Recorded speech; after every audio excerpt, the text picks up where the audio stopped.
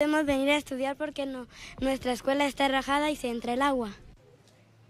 La escuela primaria y preprimaria Sonia Judith Cordón Guzmán ha sido inhabilitada por parte de la Coordinadora Municipal para la Reducción de Desastres. Los daños son más que evidentes. La mayoría de niños han sido enviados a sus casas. Esta grieta es una de las razones del por qué esta escuela ha quedado inhabilitada.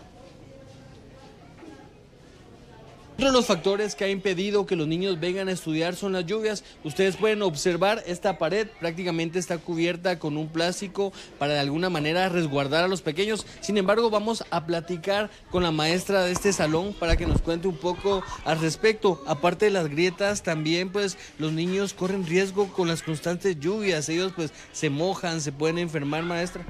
Sí, de hecho, pues acá en estos salones que son los, eh, los que principalmente están ya dañados, este salón que es de preprimaria y el salón que está aquí atrás que es de tercero, acá pues eh, se llueve toda esta parte de acá, de este lado, se llueve, por eso es que tenemos nylon. La directora de la escuela desconoce qué es lo que pueda pasar. Ella junto a sus compañeros maestros se sienten con las manos atadas nos encontramos con, con la incertidumbre, ¿verdad? De qué va a pasar en el siguiente año, puesto que no hay edificio escolar asignado eh, específicamente para esta escuela. Ya ustedes conocen la historia de nuestro edificio y pues tener otro edificio que sea asignado solo para nuestros niños es, es bien difícil. No sabemos si el otro año la escuela vamos a estar estudiando porque ya la cerraron. Desde luego, los padres de familia se encuentran preocupados. No quieren que se cierre la escuela en la colonia. Esto representa más gasto y sobre todo la peligrosidad de enviar a estudiar a sus hijos a otros lugares.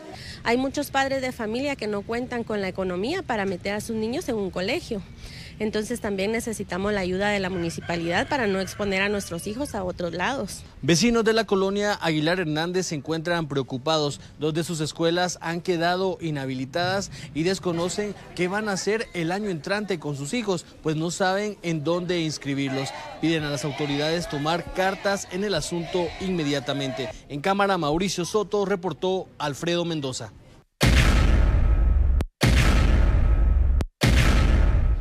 Más adelante, cuatro jóvenes capturados en el anillo periférico.